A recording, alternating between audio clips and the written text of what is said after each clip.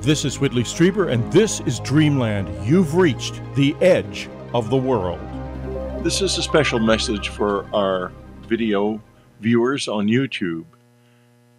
This week's show will be audio only, except for this announcement. Uh, Linda Moulton Howe's video system would not work, so we had to just do an audio show, but it's still well worth your time to listen to. Linda and I have been friends for a long time, and we know each other's minds very well. And it is an extremely powerful, in my opinion, exploration of some of the big questions like is there a conflict over mankind or not? Linda thinks so. I'm more questioning, but there is evidence that there might be. And could that be at the core of all of the secrecy and fumbling and confusion that's been going on for 70 years? And how likely is it that that's finally going to resolve itself in 2022? Well, Linda's got some fascinating ideas, so listen up and enjoy the show.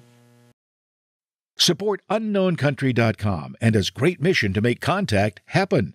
Use our vast archive of interviews, meditations, commentaries, news, and Whitley Strieber audiobooks to expand your mind and your understanding of close encounter. Meet others who have similar interests on our active free message board or in our subscriber comments and Wednesday night chats. There is no other site like Unknown Country in or out of this world. Go to unknowncountry.com and subscribe today. How curious are you? How much do you really want to know about the world you live in? There are, for example, very real conspiracies. We're talking about one of them today. And this is a place where, if it's real, we're going to talk about it, but not if it's not real. So there's no confusion here. If we're talking conspiracy on Dreamland and on unknowncountry.com, it's because we can prove it, just like we can prove that the Roswell incident has been covered up. We can prove these things. We can prove that the abduction phenomena is in some way very real. We can prove that there are unusual materials in this world because some of them are right here in my possession. So, this is an unusual place. It's a unique place. And above all, it is a great place to explore. Exploring the unknowncountry.com archive is a really extraordinary experience. It's a place where you can regain what we are losing, which is a lost sense of wonder and a willingness and to explore the unknown. We live in a terribly difficult world right now. This place is an oasis of wonder. Join unknowncountry.com today.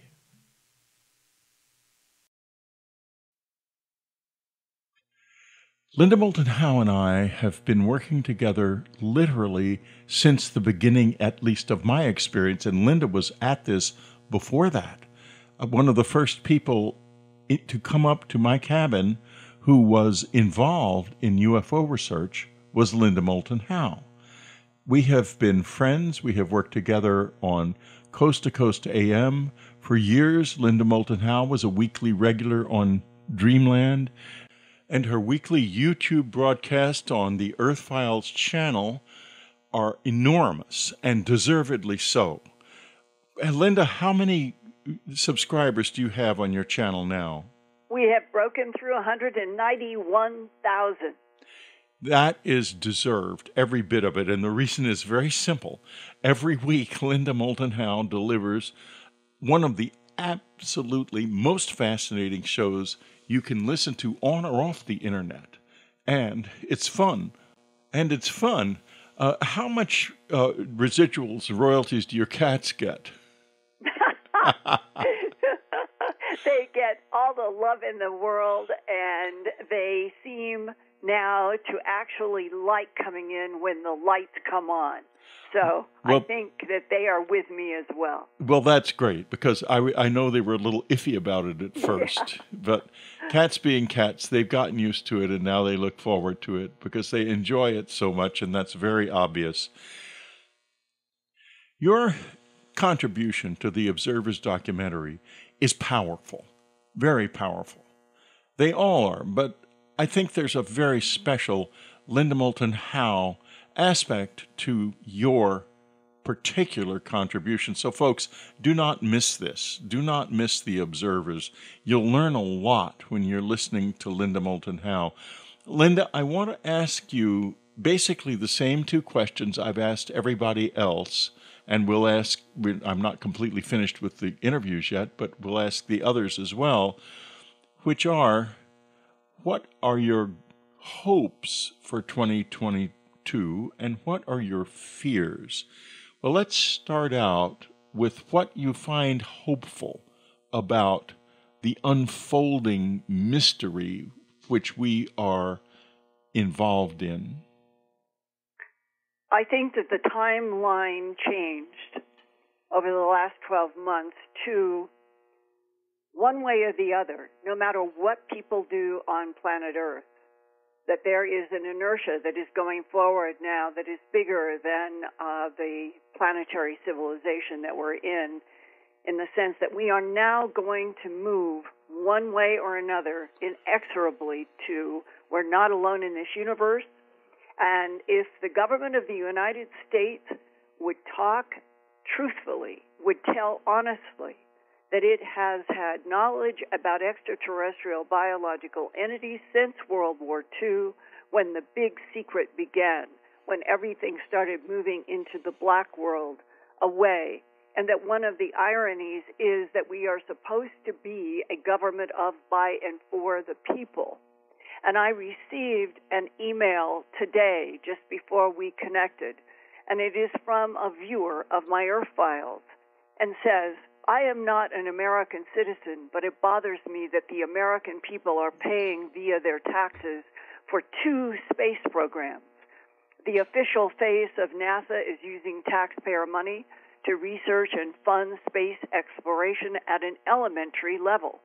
The Black Space Program, which already has all this information and is actually out in space trading with other civilizations but who is also funded by the American taxpayer in secret and appears to not be sharing its technology with the official branch of NASA. How can this be justified to the American people? And that has been one of my questions. It has been one of my subjects that I have repeated over the last four years doing the Earth Files YouTube channel. And in that context, no matter what the government would like to block, no matter how much the United States Department of Defense and all of the intel agencies would like to block the truth of history, both ancient and current, about the fact that this planet had some kind of extraterrestrial biological entities on it, based on it, experimenting with genetics on this planet at least 270 million years ago. And it is as if our government took a policy decision that they were going to try to keep the true history forever away from the earth while they went out into space. And that is one of the most important headlines and part of the answer to your question. I have had two sources. I know who they are. I know where they work. They are active. I believe these people both have told me our space force that has been presented to us in the last couple of years as something forming, uh, trying to evolve, what kind of space uniforms are they going to have, all of that was nonsense from their point of view. Because I have been told by these two sources that work for, uh, let's say, Intel and the Pentagon today, we have Space Force present at 22 different solar systems right now in the Milky Way galaxy and expanding. And that there are already power broker interests that have divided up the asteroid belt between uh, Mars and Jupiter in our own solar system, dividing them up for one of the most common reasons that any of the non-humans are out in the whether it's the Milky Way or whether it's Andromeda or one of 3 trillion galaxies in this universe. Everyone needs metals. They need them for different things, and we need gold, we need molybdenum, we need niobium, we need rare metals here. And the very fact that all of that is taking place while we are still living on a planet in which the so called national world leaders and power brokers deny that they're just creeping up on unidentified aerial phenomena as possibly maybe it is something related to outer space. I was pleased to hear that uh, Avril Haines, she is the director of national intelligence, this month said that it was not out of the realm of possibility that UFO UAPs were extraterrestrial, and she used that word. And so I think that the stage is being set. They want a lot of control on the truth. They don't want us talking about animal mutilations, which are actions by extraterrestrial biological entities. They don't want a lot of discussion about uh, abductees and about uh, clones or hybrids. And yet that that is part of the interaction between extraterrestrial civilizations in this planet. What they do want is to have the excitement that we are starting to move toward putting a base on the moon, they, that we are going to have a launch through Elon Musk to Mars in 2024. And as long as news stays with what they're fed on those headlines and everybody else uh, backs away from the other big truths of animal mutilations and human abductions, and that the entire ancient genetic history of standing up primates on this planet are because of genetic manipulation by advanced civilizations, that's where the government feels that they can hold the reins. I do not think that it will be possible to hold the reins on the truth. And that's the part that I mean. I feel like something has shifted and changed and that one way or the other, the whole relationship of evolving life on this planet in relationship to advanced extraterrestrial biological beings is going to be evolving, perhaps dominating the news as we get deeper into this century. Well, I, you know, I would agree with you there. Now, a lot of people would say two things. They would say that your what you described being there, essentially being the Richard Dolan uh, breakaway civilization being real, is just too far fetched to believe, and also the idea that there are warring entities that the, there are reptilians, Nordics, and Greys essentially in a tussle over us that these are just beyond belief. But are they really? I, I don't want you to to go into uh, proofs of them now because that's not what this is about. What I want to say, folks, is we need to take an open mind when we hear these things because they are possible. Well, for example, Gary McKinnon, in, early in the year 2000, hacked into an Englishman, hacked into NASA's website, I mean, NASA's computer system. He, he didn't hack into it, which is why he wasn't extradited to the United States. It was open and didn't have any passwords. And one of among the things he found when I interviewed him, unfortunately before Unknown Country started, and therefore I don't have the interview on the website, was that there were space ships, I mean, space forces out there that it sounded like some kind of a video game. Do you remember that, Linda? Oh, absolutely. And I interviewed him. It's at earthfiles.com, my news website, going back into somewhere around 2004 uh, four, five, six, somewhere in there. And uh, I think that Gary McKinnon is uh, one of the voices early on because of how he stumbled into the from the UK into an open computer that was tied into either an intel agency or the Department of Defense. And it was the fact that he was seeing like uh, spreadsheets, and the spreadsheets had the names that related to what sounded like extraterrestrial uh, space missions yes. with pilots, and that that is so uh, that is so consistent with the current information that I have that in by 1972 we already had Space Force going out with the tall Nordics and the tall whites into other solar systems in the Milky Way galaxy. One man that I have talked to recently said he understands that there have been at least 12 missions with Earthbound Space Force out to the Andromeda galaxy. And I, I to, guess to another find, galaxy. But I was just going to put a context for this that the strongest source for all of this that I have ever talked to in my career was in December of 1999 when uh, two men took a month to set up a meeting in which all three of us had to travel. One worked for the World Bank. He was a colleague of another man who worked for the Defense Intelligence Agency for 23 years and was retiring. And when they got a hold of me, it was would I be willing to travel? And uh, I did, and they did, and it was a seven hour meeting.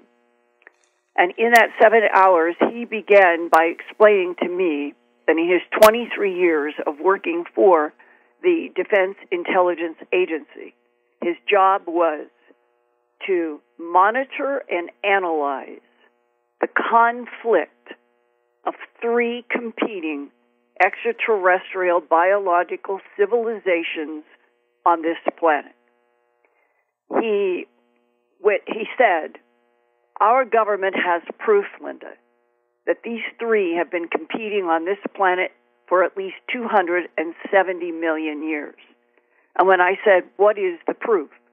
He said, If I told you, both you and I would be in danger, and so I'm not going to tell you what that is. When you take his description of his own job, monitoring and analyzing the competition of three competing extraterrestrial civilizations, how did he break them down? He said, the three start with the reptilians, the reptilian humanoids. He said they always claim that Earth is theirs because they have been here first. The other two are the, he called them the Nordics, the tall, blonde, usually blue eyed, very white skinned, in leotard kind of uniforms, and that uh, they have had manipulation in uh, gene experiments on this planet as well. But unlike the reptilians that like to dominate and live underground in the what we would call Mesopotamia deserts or the Middle East in the modern day, that the tall Nordics seek to go down below the basins of the oceans and the seas of the world where there are huge caverns and they have bases. And I've always thought that Earth is like a hotel. We're on the surface and that there are other intelligences that have various other places on the planet. He said the third air, third group uh, interacting against or with, and it's very complicated, reptilians, Nordics are the grays, and said they come in many, many, many types of artificial intelligence as well as organic, and that the organic are usually very tall, seven foot, and extremely thin, while the shorter ones are all artificial intelligence working for them. And that those are the three that have been involved with Earth for at least 270 million years in conflict with each other. So if you jump to today, in 2021, soon to be 2022, the idea that we are, for the very first time, being told by the, we'll say, representatives of the public government, not the black world that has been operating since World War II, having to do with all kinds of secrets and knowing that there were non humans involved with this planet, with Mar- Mars, with the moon, Ganymede, and on and on. Our government has known all this for a very long time at the black secret level. Right now, one of the questions that I have, and I'd be very interested in your perspective on this, Whitley. I am convinced that it is absolutely true that there are the tall Nordics with tall whites, that they are a group that is, has a vested interest in this earth and in the evolution of standing up humanoids like humans. And then the reptilians are an entirely different group, and they and the Nordics have been fighting each other for a very long time. And in between, playing all sides are the Greys. Do you think that have you had any sources imply to you that something is very important about the Nordics taking on the reptilians in this century because of something that has been seen in the timelines of the future? I don't have any information about that.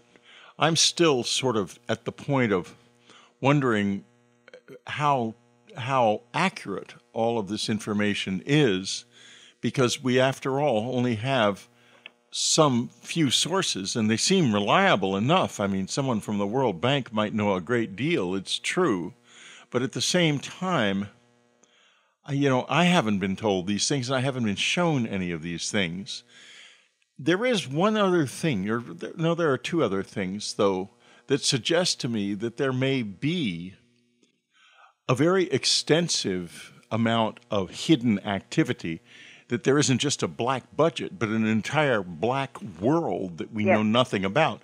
And that is, of course, when Donald Rumsfeld, on the Saturday after 911, announced that the Pentagon had lost a trillion dollars. That's a lot and of Whitley, it was the day before 9 11. Oh, the d- day before. It I was the we, day yeah. before, which made it even somehow creepier, um, more uh, more profound because he is saying that they're missing it was close to four trillion dollars or something uh, in the Department of Defense budget.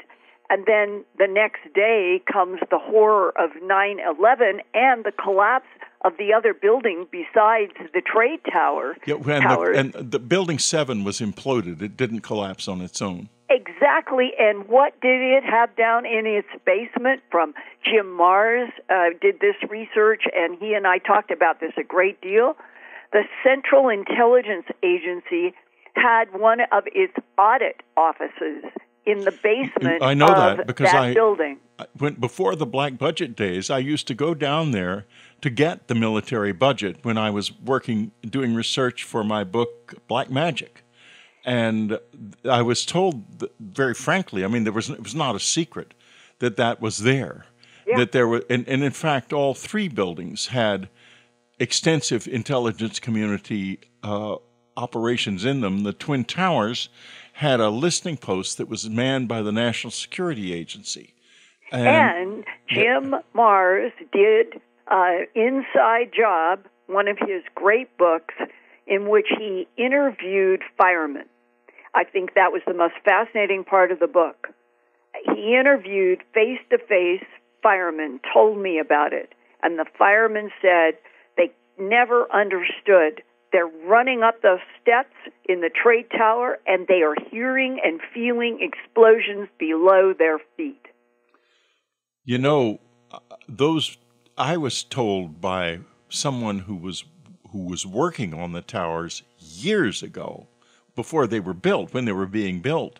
And this was a conversation in an airplane between two passengers who didn't even know each other's names he was an engineer working on it, and he said, I, he said he would never go in it because it was mined. And I said, What do you mean mined? And he said, Well, you know, they've got all kinds of secret stuff that they're putting in there, and someone can blow the whole thing up with the push of a button. And yes, I heard that as well. I don't know how we would prove it, but I heard that independently. So did Jim, that it had been wired. And this is, uh, I can contribute this. Um, there, the man who owned uh, Building uh, 7 that went down uh, in a very bizarre way. Um, I'm trying to remember if his name was Sigelman. Siegelman. Uh, it was something like that. I called his office to get a reality check for a coast to coast and an Earth Files that I was doing, and it was about that exact question: uh, Was this building built with uh, some kind of explosives in case there was a need to bring the building down? I had a discussion about it with a woman who was a secretary or an assistant in the owner of that building 7 who had built it. And when I asked about it, she said, I believe that is true. She said that to me on the phone, but I will have to get him to call you to confirm. That's as much as I got that would be firming up what Jim talk with me about that that building had been built to, if somebody needed to, they could control the explosion. I have the messages left, who I am, Linda Moulton Howe, reporter and editor, earthfiles.com, uh, the radio broadcast Coast to Coast AM, and I am just trying to confirm if that building had originally been built with the ability to have controlled demolition of the building. All of that was straightforward. I had phone numbers. I had, I think, three phone numbers. The woman who was helping me, uh, the uh, owner's number, and uh, I think it was a lawyer or an assistant. I had three different phone numbers. At the by the end of that day, I had not gotten a call back. The next morning, I called all three of the numbers, Whitley, and all three were disconnected. My word. And I thought, this, I, it, first it was hard to believe that I, as a reporter, calling and asking, everything I was doing was straightforward. I was not trying to do any anything but just straightforward confirmation. And the fact that, and to this day, never got a call, never got an email, and those numbers, I tried the numbers, especially of the woman that I had talked to in that office that was responsible, that office was responsible for the building of Building 7. And and it never changed. It said this phone number has been disconnected. Never ever got any other answer. That is and, so fantastically ominous, Linda. Well, yes, because it implies I'm being straightforward. She was being seemingly straightforward. That means that she would have gone to the owner of the company that built Building 7 and said the reporter would like to have confirmation about whether this building was uh, built in the beginning with the ability to bring it down in a controlled demolition. You and know, that that was somehow that was a dangerous question to answer. You know, I have a feeling there may have been something else going on here. And if you could not answer that question, but you wanted to, one way to telegraph that would be to just disconnect the number because it, it tells the reporter that yes, there is something to this and it's extremely sensitive and we can't talk about it. Instead of simply saying no comment. Well, all of this comes down to another question that I have been mulling over recently more than anything else. Why, Whitley? From World War II all the way back to when we got into uh, after Pearl Harbor, Harbor in December 41.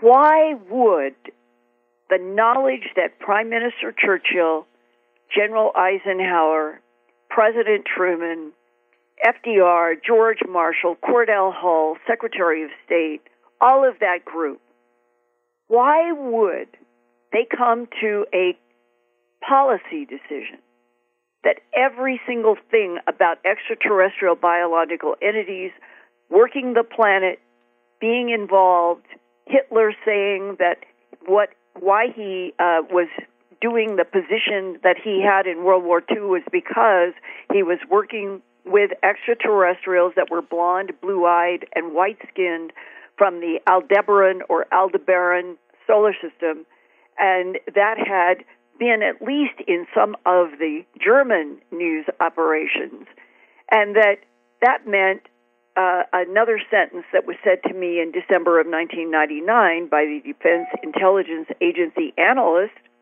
um, who told me that three competing ET groups had been uh, on this planet for at least 270 million years. Here is another takeaway, absolutely pivotal quote from that discussion in December 1999. Linda, World War II was an extraterrestrial war fought through human bodies.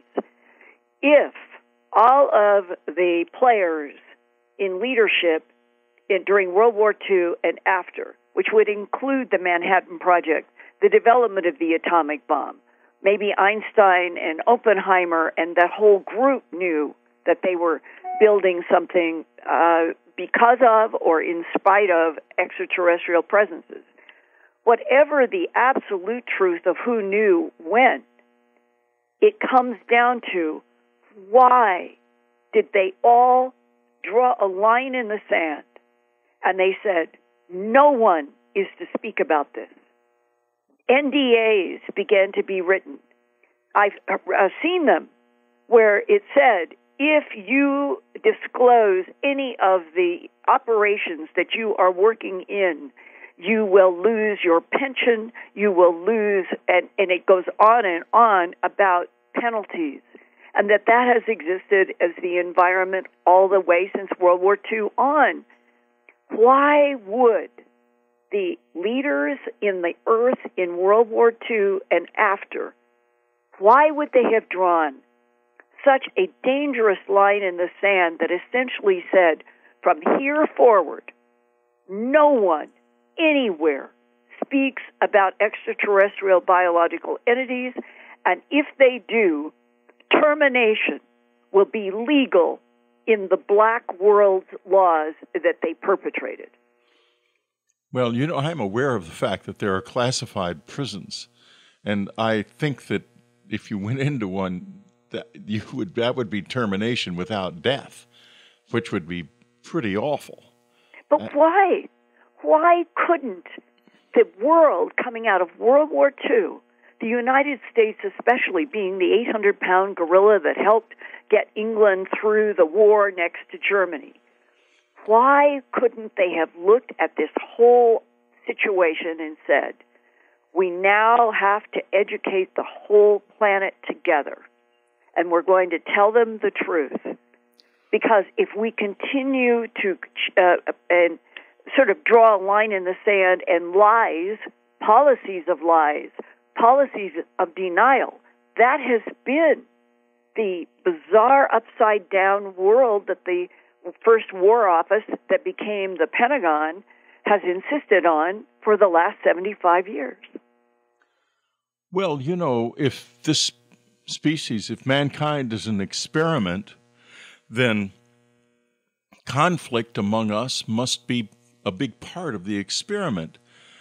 There's another thing, though, that strikes me, and that is that if we were uh, reflecting in World War II some kind of larger scale cosmic conflict, which certainly could be possible, I would think, then we should have been told the truth afterwards.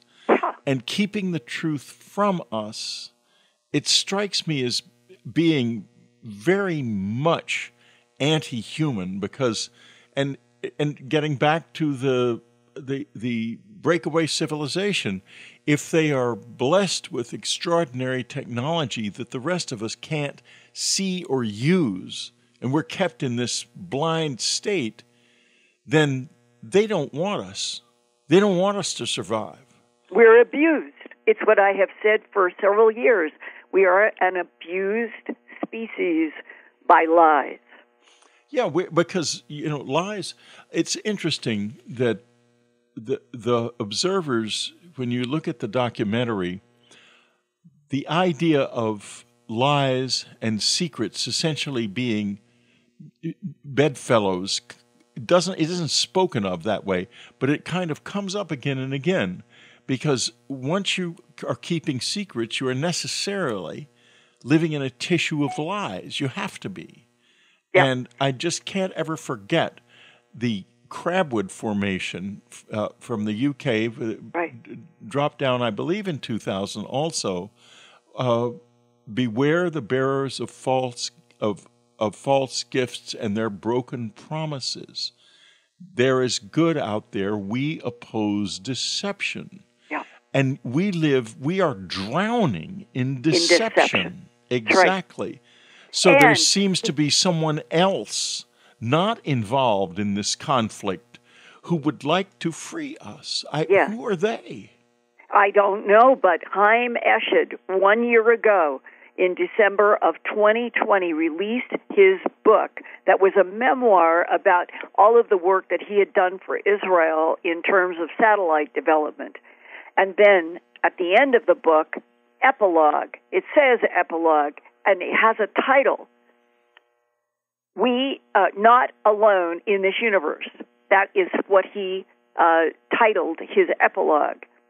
And Chaim Eshed says in that epilogue that it isn't humans who are controlling the release of the truth that we're not alone in this universe, that it is the non humans themselves now, that's his point of view, but I think it is an interesting facet for us to discuss because which non humans would be, re, I guess, receiving some kind of value in keeping humans dumb and blind until a point comes in the future where those particular non humans decide that then we should be told the truth who are they that is keeping the truth from us?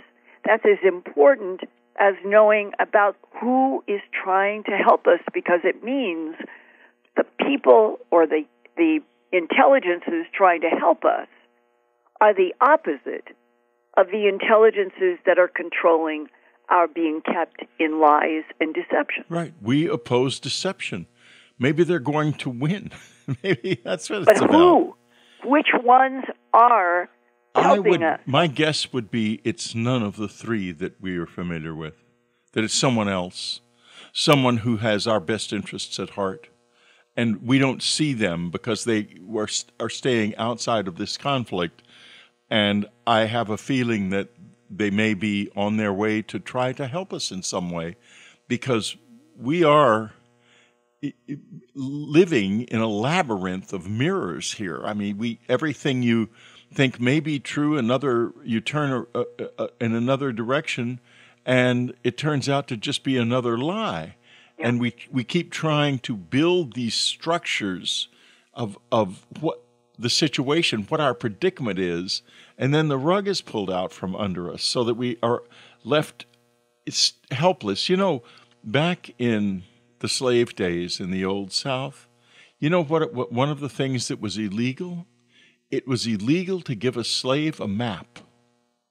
And there's a good reason for that. And that's why we don't have a map.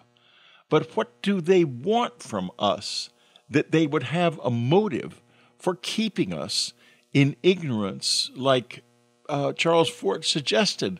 It's a barnyard, but what is their motive? What do they get out of us? And that's the scariest part, in my opinion. I understand exactly what you are saying, and it is a really important point. But I have felt deeply ever since I started in complete ignorance and innocence a strange harvest investigating animal mutilations and doing that starting in Colorado and realizing they were around the world and having law enforcement say, look, we've seen the lights in, and we've seen beams coming down from lights. Ranchers have seen animals rising in beams of light and then be dropped back down to the ground. And as Sheriff Tex Graves told me back in September of 1979, 42 years ago, Linda, the perpetrators of these bloodless, trackless animal mutilations are creatures from outer space. Now, in the beginning, when I was first trying to think about what he was saying, I didn't really feel fear as much as I did curiosity.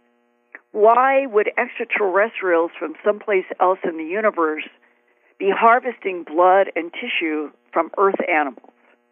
That's where my mind went. And nine months of working to produce A Strange Harvest, a documentary about it, I found my curiosity always outweighed fear. And I have always felt that that is the equation that you could also hold up to the planet.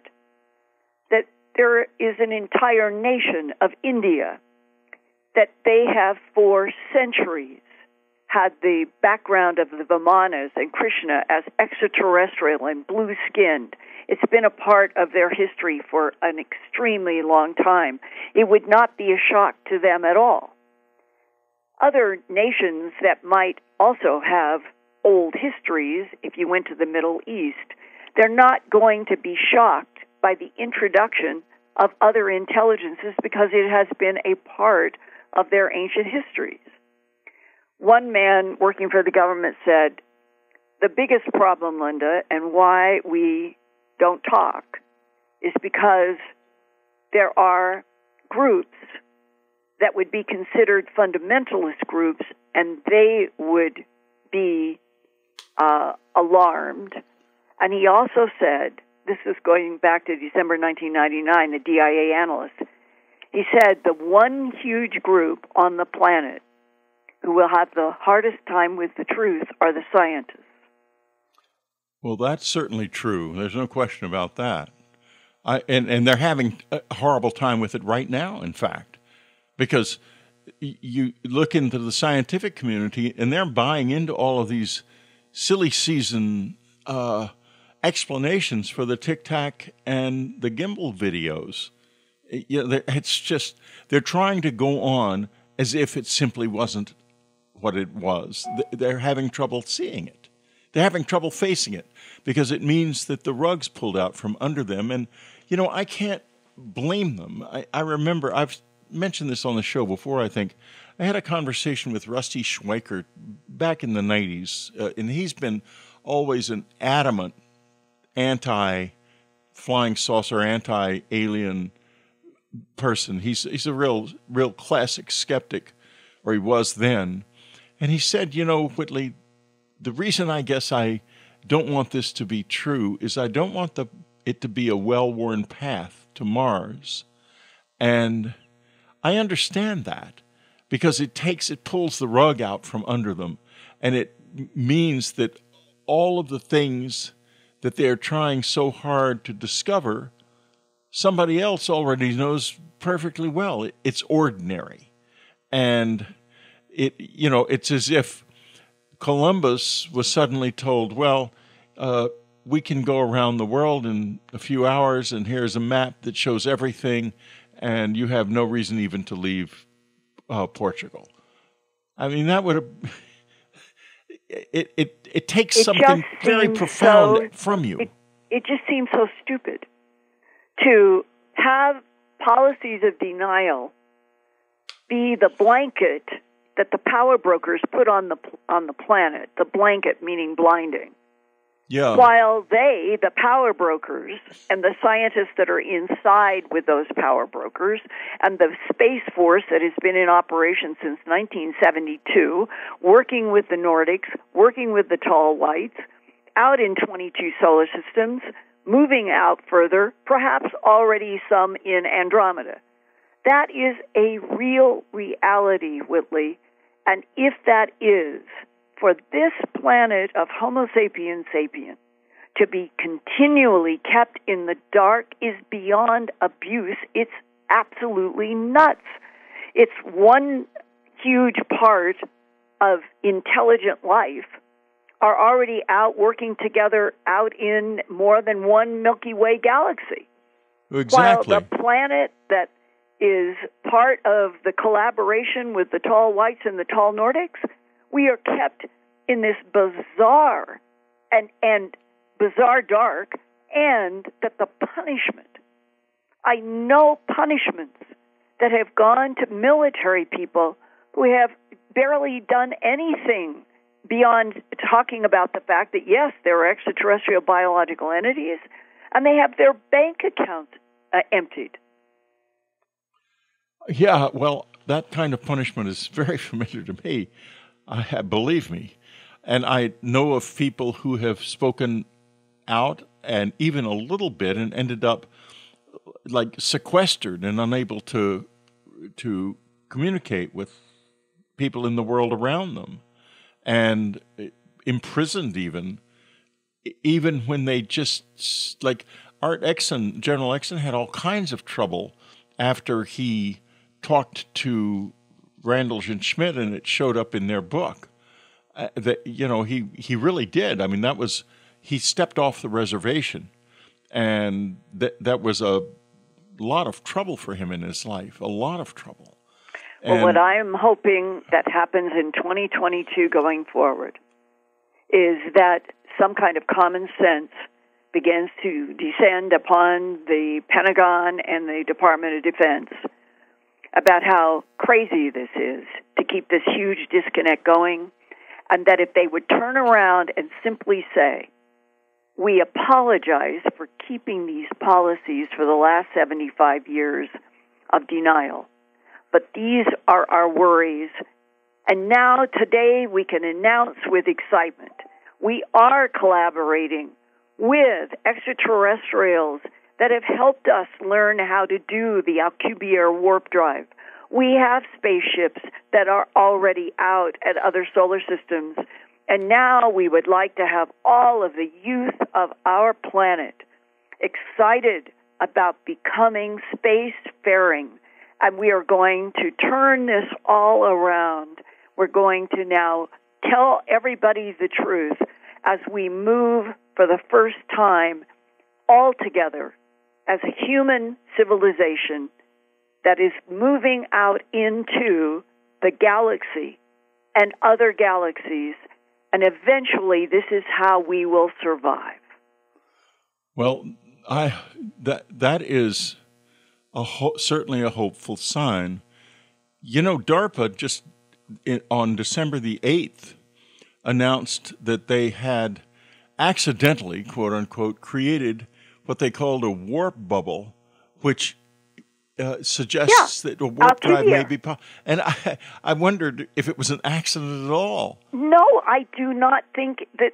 Listen, they've been doing Alcubierre warp drive for way more than uh, the last, uh, let's just say, from the beginning of this uh, particular uh, uh, 20, the 21st century. They've already been doing this for a long time. These are like dropping into science news now pieces of of fact that is tantalizing and it makes it sound like oh the scientists are beginning to learn how to do this they've been doing this since they started working with the tall whites and the uh, the Nordics since 1972 and so now we're in a, some kind of a crossfade in which they're trying to get into news and into universities and into credible venues look look how close we are to our Alcubierre warp drive. Oh my gosh, look, we're getting numbers that would anticipate that it would work. They already know it works. They're already working in spacecraft that are based on the Alcubierre warp drive. This is how they move light years, Whitley. It does not take light years with the Alcubierre. You're pulling your space def- your destination in space, you are pulling it, It- to you. To you, exactly. And so And- it doesn't take light years at all. It takes a second. And remember Philip Dick in his brilliant, brilliant uh, science fiction. He had a story about um, a door where you stepped over the door frame, like the landing of the door. You just stepped over it, and you were in another part of the cosmos. That is exactly the universe we live in. We've just been denied the truth. It looks to me possible that that isn't going to last because something is happening in our world. Not only did you you made reference to the head of the I forgot her name, the head of uh, Averill, Averill Haines. Avril Haines, yeah. Yeah, Well, Bill Nelson, Director of National Intelligence over 17 or 18. You get that number sometimes Right. 17 or 18 uh, of all of the American na- uh, intelligence agencies. Well, Bill Nelson, who's the head of NASA, Yeah. at a in a conversation at the University of West Virginia, which is on YouTube, eh, seems Yeah. to you've heard this too. Just- Oh, I did a story about it at Earth Files and did it at my Earth Files YouTube channel and ran the video in which he is basically saying he walks right up to the sentence that the UAP could most likely be extraterrestrial. well, these are huge emis- admissions, and they are profound cultural influences because they are undercutting the the intelli- the not the intelligence community, but the intelligentsia, the scientists and the academics of the world. Because even my friend Jeff Kripal prefers to think of this as something that is kind of not fully physical, that's imaginal. Because I guess he feels it's more comfortable that way and somehow. But it's not. I don't think We're it is we're either. dealing with real civilizations that are way, way, way older than us. This is a solar system that's only 4.6 billion years old, and we're in a 13.8 billion year old universe. And that means just exactly like Michio Kaku a long time ago said, if you just took the 13.8 and you divided it by 4, that you would have approximately 3 uh, billion year old epochs. And Right. that means that the universe, with light, with intelligence, with evolution of life, would have been in epoch one, two, three, and we're in four. And that the universe on a timeline and evolutionary forces, because I, I think we're in one universe that's part of possibly an infinite number of universes, and that the true scope of what is behind the creation of universes and timelines is maybe the most incomprehensible part of all of our discussion. But whatever that is, don't take it away from the fact that this is a universe that could have had advanced intelligence in the first epoch, and that would mean by the second and the third, thousands of years in advance of where we would be at 4.6 billion. And that is something that gets lost in arguments. The universe and the amount of intelligence that could already have been moving uh, in the, we'll call it the Alcubierre warp drive method, could have happened in Epoch 2, Epoch 3. It would be then so common. It would be the way you move in light years. yes. And it, you, you don't take light years. And the fact that I have been able to talk with some people in the military who have knowledge about this, that they describe that there are facilities where you walk a hall and you come to an intersection. And when you cross that intersection, you're completely in, uh, and that was Spartan uh, 1 in my Antarctica, uh, Alien Secrets Beneath the Ice. Um, Spartan 1 had experienced this, and it was in a building complex in Gakona, Alaska. You would walk the hall to a intersection like the door frame that Philip Dick talked about, and then when you cross that intersection, he would end up in one step in Hawaii. There are longer steps, I think, because I think you can end up in one step, conceivably in another galaxy. Yes. It's, you can it, be anywhere. It, it has something to do with how the relationship between creating the pulling of the destination, the idea that you are bringing the space destination to you, which is very difficult for humans to grasp because we are Euclidean geometry beings. We, our legs walk, we walk lines, we walk streets, we drive streets, we fly up in the air, but we're still going in uh, time. We're still using up time moving forward. And the idea that we would never have to do that that we would pull the destinations to us, that's very difficult for the human mind to grasp, but it is absolutely clear that the Alcubierre warp drive, the math works, and that there are already testimonies that we are doing warp drive out in this universe, and it's reducing light years to seconds or minutes. You know, something just came into my mind that I haven't thought about in years. I was trying to find out how the visitors got here. And I seem to remember it was one of those mental conversations. I wish I could say it was physical, but because I always suspect the mental conversations, I'm, I can't help it. I'm, I'm not a huge believer in channeling. I think the human imagination can easily go out of control. But now, suddenly, knowing, hearing this, the peculiar answer seems to make more sense. When I ask the question, how do you get from place to place? Because it was obvious to me that they weren't flying in ships moving at light year speed because it's too slow. the answer was, it's a solid idea. And now I suddenly think to myself, the problem with the Alcubierre warp drive, as we understand it, is the enormous amount of energy that, that is necessary to bring two points in physical space together, even for an instant, because you have to bend space.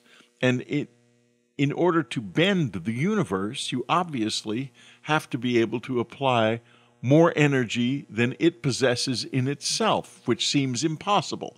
That's why it's always assumed the Alcubierre warp drive doesn't work. But if it has something instead to do with the mind and consciousness, it might be, yes, a warp drive, but no, not what we conceive of as a physical warp drive, because then you get to the idea that is solid, a solid idea. In other words, an idea of movement instantaneously from place to place that somehow has actual form and function in the physical world. Well, it's my understanding that the energy issue is taken care of in the fact that there are the uh, you, you're you're creating these two bubbles, front and back, when the uh, Alcubierre warp drive is executed. And those bubbles are these warps in the space time fabric. And the fact that there's one in the front and one in the back of the vehicle that you're in, that accomplishes all of the energy and the pull of space that you need. And that's why that headline, that uh, the ca- quote. why recently. they call it a warp bubble. and that what they're finding, or they're finally putting out in these little drops out in the public, is they're saying the math appears to be getting close to. That's what that uh, news was about. We're getting close. Well, that's it. They're just not telling the whole story. Right. We're we're doing it, and it isn't an insurmountable energy thing. It has to do with the balance between the the two uh, pockets, one in front and one in back of the craft.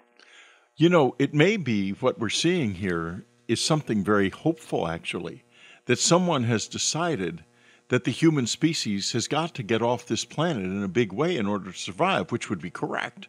Yes. Now, uh, but let me let me circle back here for a minute to another possibility. Assuming this structure of Greys, Nordics, and reptilians is correct, and that they are very, very ancient. They have been here and Yeah. and presumably in this universe for all of those 270 million years or longer. I would think that they might be absolutely desperate. My mind goes back to the time that I asked when I was on one of my walks and I was aware that, or I, wouldn't say I was aware, but I was, I felt that there was a presence, an entity near me, and I visualized it, and this may be accurate as a, an older sort of a gray, and I do know that some of them are, are organic and they do age. And I asked, What does the universe mean to you? And immediately saw in my mind's eye, like a television image, a picture of a coffin. And what I'm getting at here is that if they are trapped in time, then I circle back yet again, even farther, to ancient Egypt, to the Pyramid of Unas, which I return to so often because this is the pyramid text in it is, I'm convinced, the last text of soul science we have on planet Earth. And it describes how to ascend. Mm-hmm. And you ascend by being light. It's lightness, being in the light. And that means that you have to do and be good and work on behalf of the good. It's also what Jesus was saying that you have to be light in order Yes. to ascend. And he did it himself in the tomb to show us it was possible. Yeah. Now, what I'm getting at, just let me finish. Maybe these beings can't ascend and they're trapped in time, in which case, this conflict that they're having is the only thing that would be keeping them sane. and that there really is a divine field Exactly. as I sense it. And the divine field, if I could share with you in the audience now this quote that I keep taped to the front of my computer at all times. It came from a conversation with somebody who was uh, investigating aspects of physics and light and infinity and the speed of light, and we were having a discussion. And in the discussion, this quote came up, and I wrote it down and typed it up, and it says, quote, we experience photons in space and time. However, there is no space time for a photon. It experiences the entire universe as a single point. It experiences all of time as a single moment, a single photon. That's ascension. And that is the real universe, the real cosmos, put it that way, that we are in. I, I feel it to my core.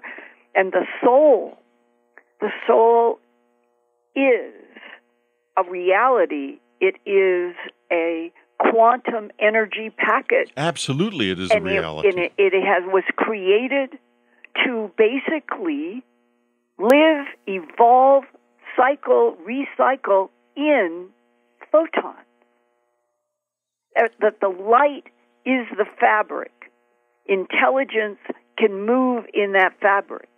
And if we truly understood the relationship between infinite photon and the soul, we would be so much closer to the real truth.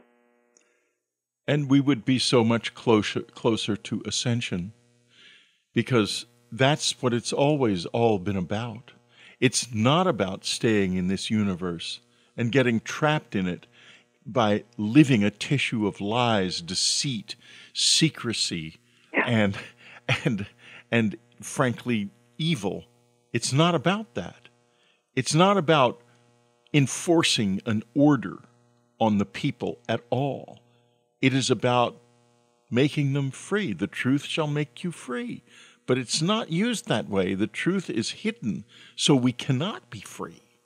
And that is evil. And those who do it, whether they are reptilians or grays or people or whatever they are, they are, because they do it, they're trapped in the stream of time. They can't ascend. There's no way. They can't join the light. But that's the only thing that matters to a real, fully human human being. And I say human being because some of the visitors have said to me that we don't think in terms of species, we think in terms of races. And there is only one humanity that contains many different races. And this humanity is what I feel I want to be part of, and I am part of. Me too. But as soon as you start to lie, we oppose deception. Right. As soon as you do that, you get heavier and heavier and heavier. And you wrote the beautiful book about what happened to Christ. Yes.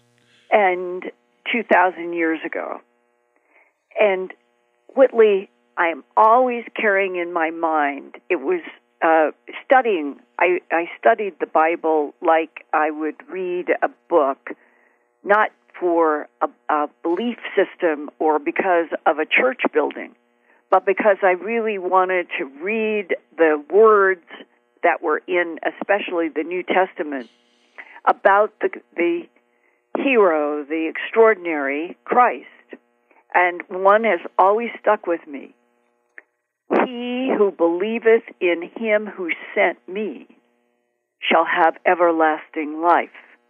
And ever since I read that sentence, what automatically and immediately went into my mind was the opposite. He who does not believe will not have eternal life. Now, it is almost as if that is the line that is down in the the cosmos of the of everything there is. It, you have a soul. The soul has recycling to learn, and it was almost as if that line in the Bible, not talking about this in terms of religious buildings or or anything, but but a truth about the cosmos that the soul recycling in eternal life is the entire essence of the universe we're in and perhaps the whole cosmos. But if you separate yourself from that divine field, then your soul may be in jeopardy of not being able to recycle, which is exactly what you're talking about. Exactly. Of beings, yes. And that if we understood the physics, if we understood the whole truth, instead of being confined to these slices having to do with power brokers controlling everything, if we understood our soul, it is the quantum energy linked to the divine field the infinite photon. And that what Christ said, he who believeth in him who sent me shall have everlasting life. That, that means rising out of the time stream. There is an eternal recycling that is evolutionary, and the souls are what learn and give back, and that is the infinity. You know, I think that we can rise out of the time stream. And I think that perhaps one of the reasons that, you know, when I've been with some of the visitors, they have been filled with a, I don't know how to put it, a kind of a, is it jealousy? Yes. And yet others have been so fully supportive of my own journey in spirit and trying to help me. Right. And interestingly enough, the ones who abducted me in 1985 have been the ones who have been with me always, just as recently as this morning, early in the very early hours. And now I know why it was about this conversation. Because I, I, I had a feeling that something extraordinary was going to happen when the two of us got together, and it seems it has. So, yes, I would agree. And, and uh, go, go ahead. While, while we were talking, or while I was just listening to you, I just got this in on my cell phone, which is just happens to be on my computer desk. Question from a friend. And I don't know, I don't even know the source. I'm just reading you this information that came in my text. I don't even know what the source phone number is. Question from a friend. Why can't I create by thought my own environment? That's what Christ did when he sat with the people and said, ye of little faith, and created the wine, the bread, and uh, the uh, it was wine and bread and fish, morphogenic fields. He was able to create move uh, move atoms and molecules into morphogenic fields of fish, wine, and bread. That was what that story was about. Which is you. Ha- why can't I create my thought, my thought, my own environment? You haven't learned to control your own mind and body. There's a reply. It's like I'm reading a Q&A here. You are living on a prison planet encapsulated by electromagnetic fields that degrade your natural abilities. You have been taught all of your life to believe in a very limited set of abilities. You came into this life by way of an implant station. That is one thing that has come up occasionally, and I don't know if you have ever encountered that in all of your relationship with the Greys. Do they, do the Greys implant, they implanted you, they've implanted many, many abductees. Is it for a positive reason or a negative reason? Well, that's the question. You know, oddly enough, something came in on my cell phone at the same moment. A friend sent an article from The Hill, uh, the the journal, The Hill, which is specializes in Congress. Uh, set to make history on UFOs, Congress Congress revives the one percent doctrine. The one percent doctrine is a doctrine which means that if something has an even one percent chance of being dangerous to us, then the government is obligated to take it as a certainty. Here's what the article, the first Good part. Of, God, you're kidding. No, it's not. That's. I'm not kidding.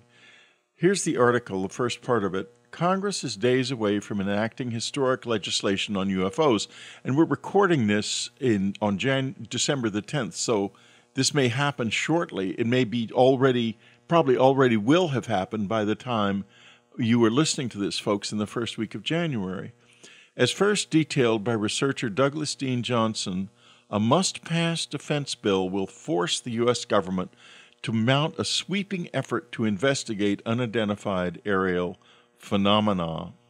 Perhaps most importantly, following seven decades of Cold War induced secrecy, denial, and obfuscation, the 2022 National Defense Authorization Act will mandate unprecedented government transparency on UFOs. Robust bipartisan support for the bill's expansive provisions amounts to a stark rebuke of years of official ineptitude and inaction on UFOs. Yes. Moreover, con- congressional assertiveness is revising the 1% doctrine, which holds that there is even a slight chance that a particular threat is real the government must act as if it is a certainty. Well, now, this is Gillibrand's amendment right. to the National Defense Authorization Act, and I was happy to see that. But if they are doing the 1%, it means that what I've been told is our government is so concerned that we have hostiles. And this yeah. goes to the remote viewers who have said there are friendlies, neutrals, and hostiles, and they were saying that all the way back from the 70s onward. Jim Marrs also.